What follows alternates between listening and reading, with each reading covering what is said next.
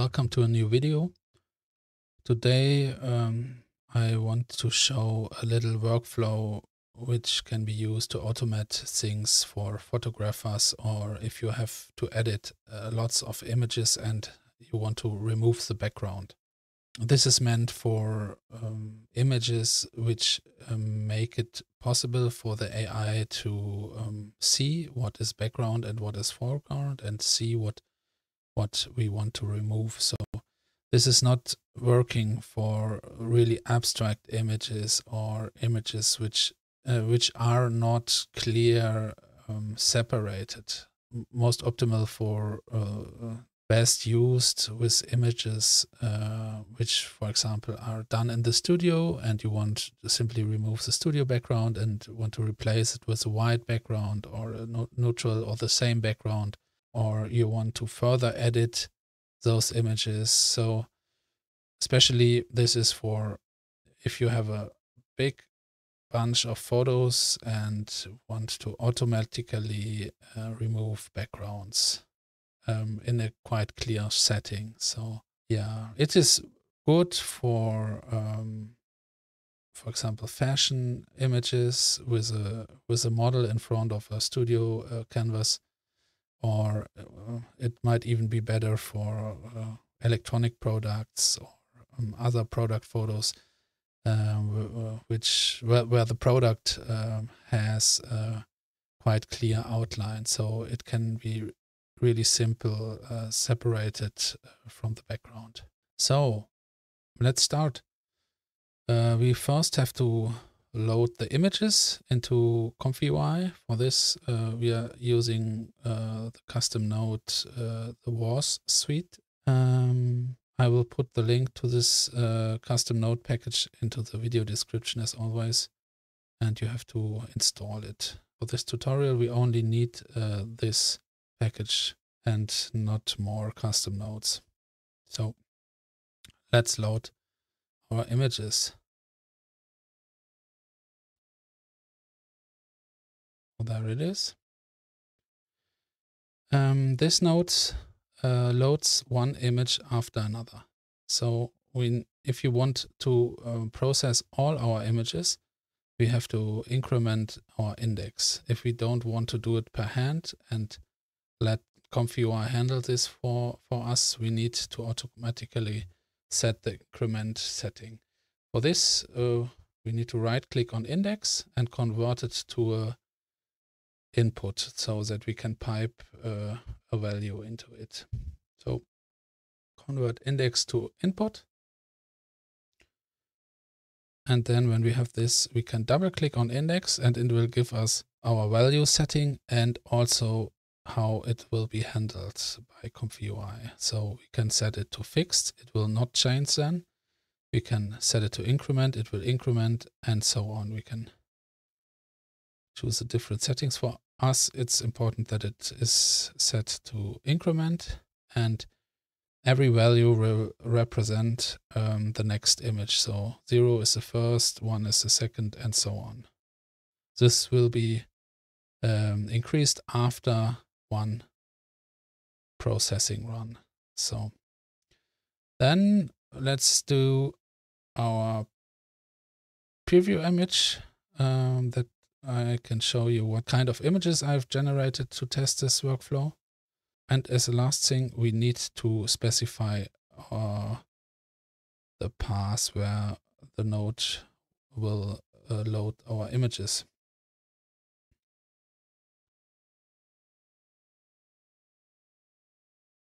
I have generated a bunch of images for this workflow and we can have a look at it now.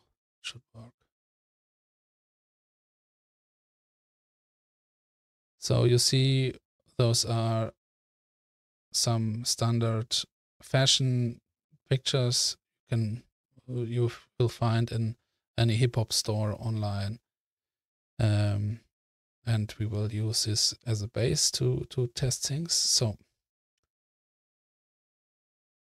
for this, now we want to remove our background.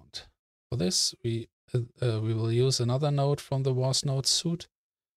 Um, It's called rem for remove and bg for remove background.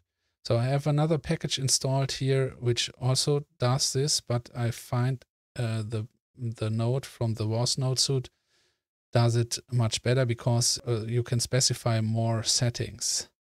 So we will use this one. You can try the other one as well. Uh, I can link it uh, below uh, um, as well. It's a, a, little bit simpler, but maybe it works for you better. So uh, in this case, we check uh, we we check this one. We have to pipe this into a preview node. And now you have different settings. The transparency we um, want to to be true. The model is important. Uh, you have to try this um, depending on your images. For this type of image, I find the ISNet general use model is working best. Um, I also like to use post-processing and the alpha matting setting. This uh, I find gives me the best result for this kind of image. Um, you really have to try for yourself with your images. And that should do the trick. You can see the uh, the number got incremented here. So it's now at six. We can try this again. It should get a uh, remove background now. So.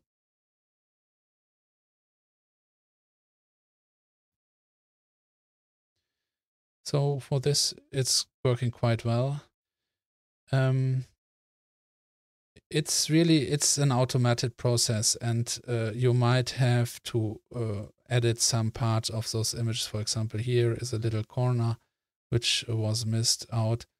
But for many cases this can be a great help uh, if you have simple images and simply have for example thousands of images of products also um, you have to process. This can help you a lot and you will spend much less time with the process.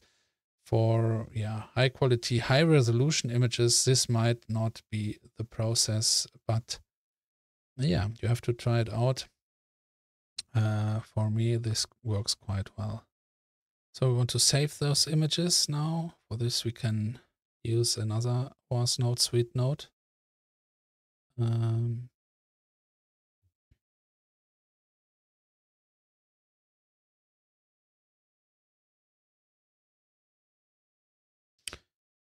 and there you can um, specify a folder name or a, a, complete path to the folder you want to save them in. And you can um, specify a file name prefix and the delimiter and some more options. So this will save the images into your folder you specify. So now to process all your images in one run, we need to set this setting to zero, the index. Need to have the increment setting uh, active. And we need to activate our extra extra options in Comfy UI and set autoqueue to on. So this will um, start again when every process is ended. So it will begin uh, again after every processing. Uh, this, um, if if all images are processed, this will give us an error because there will not be any images more left to process. And yeah, then we are done. So let's try this.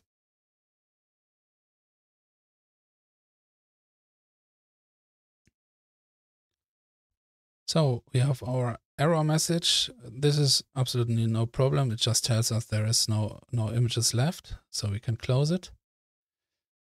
And that's it. I think uh, this type of workflow is really different than what most people use Comfy UI with, but it's really powerful.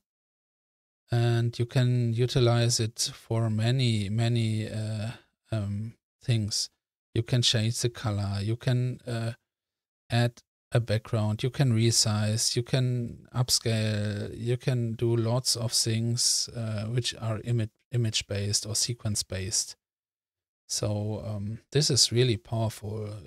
Um, I think I will do some more uh, tutorials um, on this in the future because there is so much uh, more possible with this. So stay tuned, um, subscribe and comment down below uh, if you like this or what you want to see uh, in the future. And I hope uh, I will see you again soon. Bye bye.